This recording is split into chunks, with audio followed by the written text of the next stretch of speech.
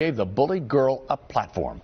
Beyond supplies and school clothes, there's something else parents need to consider before that bell rings this fall. I'm John Holt. And I'm Dominique Ricks. Fox 4's Megan Dillard is here working for youth with some valuable points about bullying.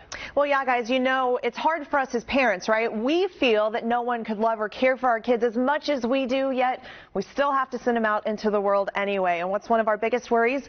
bullying. But how do you know if your little one is getting bullied or worse yet, maybe a bully themselves? Willie the Bully and the New Kid Molly by Sky, Kyla, and Angela and Vicky. Kyla Lewis is only eight, but she already has her name on the cover of a book. I love that it's written by a kid or kids working together because that in itself shows the example of kids working together to help break down the bullying cycle.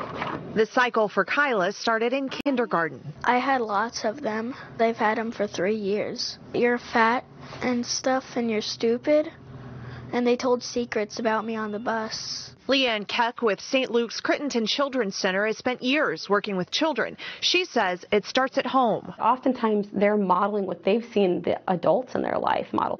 As adults and caregivers, she says we should create a space where our kids feel safe and supported, not belittled or judged. Being bullied is a traumatic experience is, is because it does change your self-worth. Um, it starts to make you question who you are and how you fit in. We also need to remember what's important to us will be received by our kids. There's a lot of pressure to be the best in everything. And so um, children feel that anxiety and they feel that pressure and then they start to turn against their peers at times because they don't know how to, to deal with all those feelings. Kyla's personal experience allows her to give this advice. If you ever do get bullied, stand up and run to the teacher and tell them. I know how it feels to be bullied and I don't want other people to think that they're the only ones. You'll just have to keep standing up.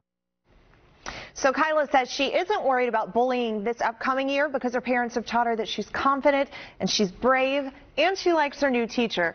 Parents, another question. Do you struggle with maybe your kid being the bully? Well, I've added some tips online for you to read as well. That'll go up here in just a bit. I'm Megan